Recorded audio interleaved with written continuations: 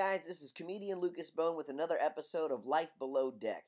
This past week, I was cruising on the Norwegian sky, and they were just getting their large Christmas decorations out. They had some uh, beautiful trees and poinsettias in the main atrium. They also had some Hanukkah decorations as well. However, the most exciting part of the event was a very large gingerbread display. Now, this display probably took up about 20 feet by 15 feet in the atrium. The artistry was absolutely amazing. All of the buildings in this scene were created out of edible material. Everything from gingerbread uh, cookies to graham crackers to chocolate tiles to marshmallows, candies, M&Ms. The amount of detail was absolutely amazing. You'll see some close-up photos in the next couple images of Smurfs. They had minions, they had penguins, panda bears, snowmen. And as you can see right here, it all focused around this absolutely amazing winter wonderland. They had a moving train. I mean, how cool is that?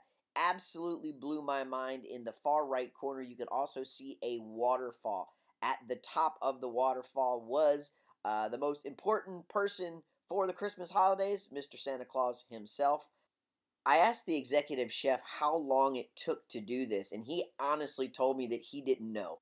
What he did tell me was this whole decoration activity started out as a friendly competition between departments. So the food and beverage department, uh, the pastry department, the chefs, the hotel keeping, the housekeeping department got together and they each tried to come up with their best and most decorated gingerbread house and or building and then decorate it as well. The result was this delicious looking winter wonderland. He told me that it was a fantastic way to kind of bring in some of the holiday cheer and uh, to create a small amount of competition among the different departments. And he said there were prizes that were given out and everyone that was doing the decorating had a really, really good time.